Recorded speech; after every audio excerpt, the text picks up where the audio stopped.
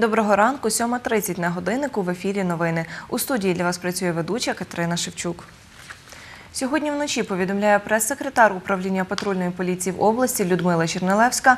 У Хмельницькому виявили двох водіїв, котрі керували авто у стані алкогольного сп'яніння. Сталася одна дорожньо-транспортна пригода на автодорозі Н-03 Житомир-Чернівці без травмованих. На службу 102 надійшло 72 виклики. За словами Людмили Чернелевської, більшість з них стосувалися порушення тиші та розпиття алкоголю у недозволених місцях. Патрульні виявили більше 54 випадків порушень правил дорожнього руху. За ніч повідомляє чергова акушерка приймального відділення Хмельницького перинатального центру. Тетяна Симчишина народилося шестеро дітей, дві дівчинки та чотири хлопчики. Найбільша вага дитини 3 кілограми 950 грамів, найменша 2 кілограми 600 грамів.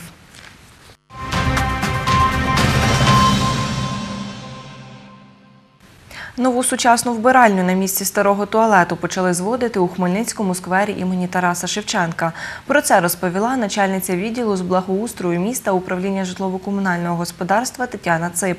За її словами, на реконструкцію планують витратити з міського бюджету понад 2,5 мільйони гривень.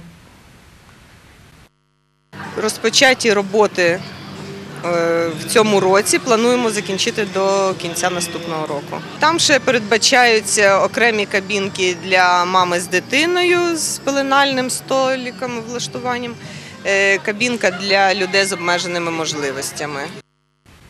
Про громадські вбиральні Хмельницького, їх вартість та необхідність встановлення дивіться у наших наступних випусках новин. Сьогодні з 9 до 17 буде відсутнє водопостачання у деяких будинках на вулиці Лісогринівецькій обласного центру.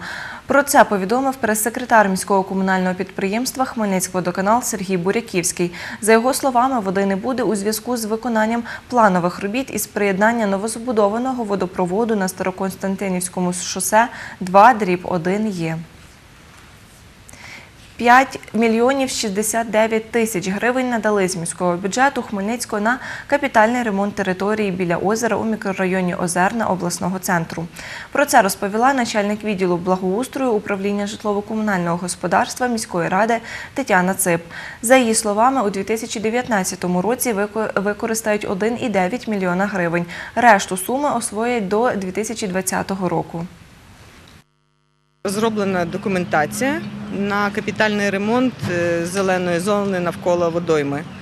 І проектною документацією було розраховано 7 мільйонів 725 тисяч. Е, В результаті тендера виграла підрядна організація, яка запропонувала суму 5 700 тисяч, 5 мільйонів 700 тисяч гривень. На цьому тижні підрядник має розпочати підготовчі роботи, каже Тетяна Цип. До закінчення 2019 року з'являться доріжки з бруківки. Після завершення робіт у 2020 році при достатньому фінансуванні встановлять сучасний лед освітлення, лавочки та сміттєві баки.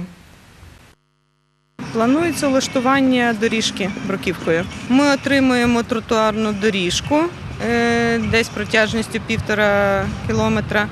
Е, Буде освітлення, встановлені ліхтарі, сучасні лед-освітлення, е, лавочки, урни для сміття.